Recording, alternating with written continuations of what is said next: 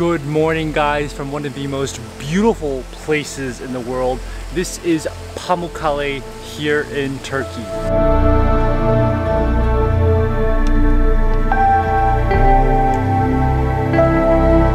We've gotten up bright and early today at 6.30 in the morning because that's when the southern gate at Pamukkale opens and we've come to these pools which are completely abandoned. I have an entire pool to myself and we've just watched the beautiful sunrise from behind the Cotton Castle. You can see the hot air balloons rising up from above.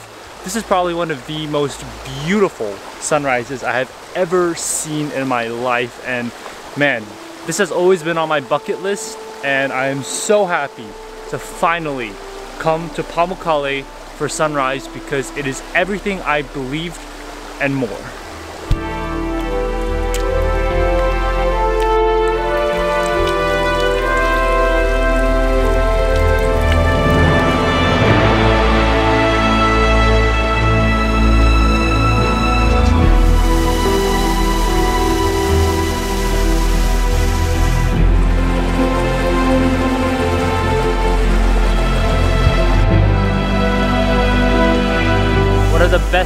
Of waking up early in the morning here in Pamukkale. I have the entire place to myself. Literally, not a single soul here. I have all the pools. Whichever pool I want to choose, I can go for it because there is literally nobody here.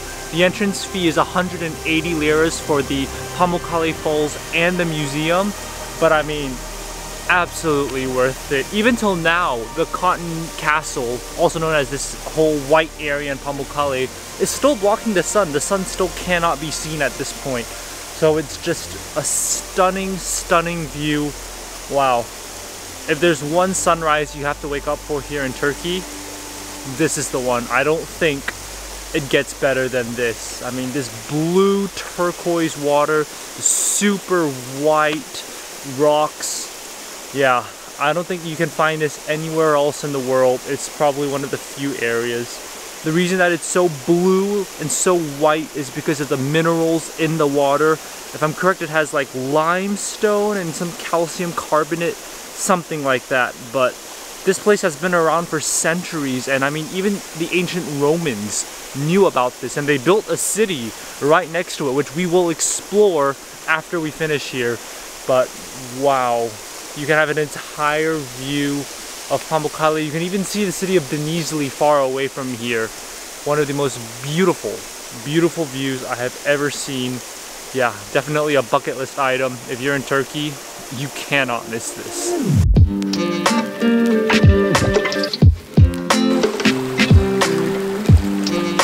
As I mentioned earlier, people have known about these beautiful hot springs in Pamukkale for centuries. The ancient Greeks built a city right here on top of the Pamukkale Cotton Castle, that white turquoise blue area and you can still see the ruins today. So when you get entry with that 100 lira it's not just for the waterfalls and the pools it's also for the ruins up here on top. So let's go check those out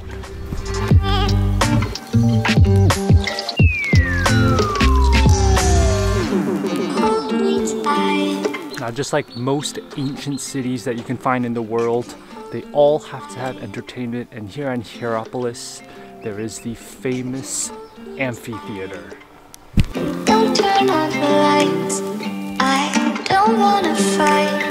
This amphitheater right here is one of the best preserved amphitheaters in the entire world, even compared to the ones in Greece and ancient Rome and they're doing such a good job of restoring what's left here.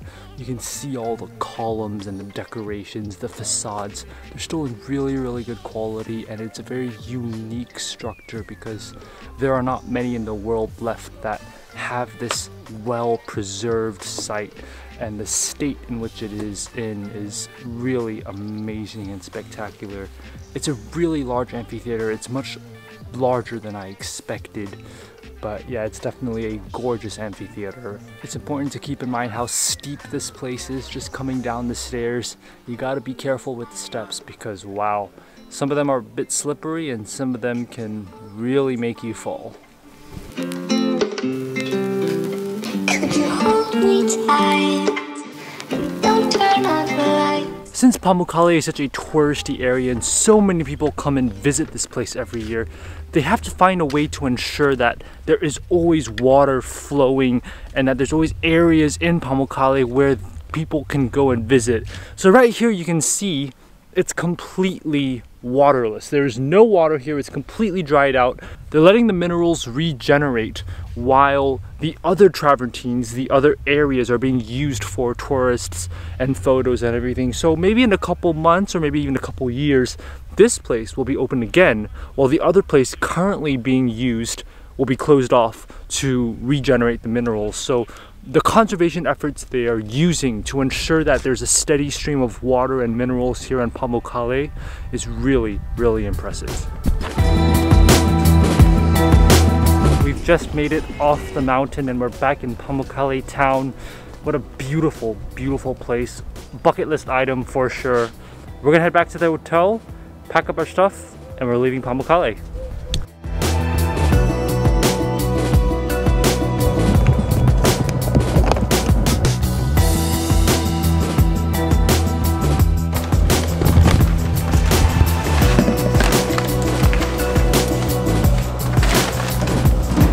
Hi, sorry.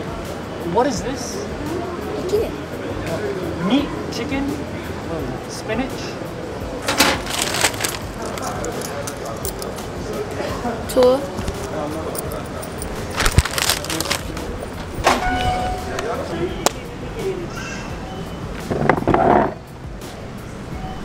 So we have made it to Denizli bus station. Our bus for Bodrum, which is our next destination, leaves in about an hour. So I decided, you know, it's a good idea if we get a quick snack, which is exactly what we got here. It's some potato bread, I want to say.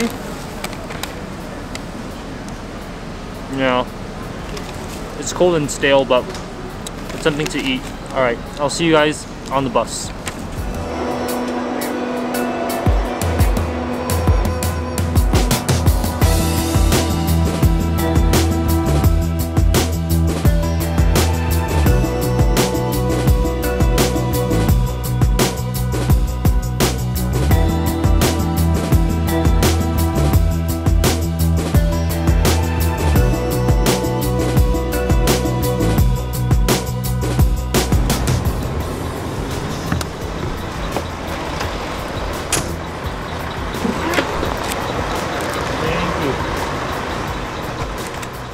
That was a very long bus ride. That was almost five hours from Denizli to Bodrum, but we've made it here. Welcome to Bodrum.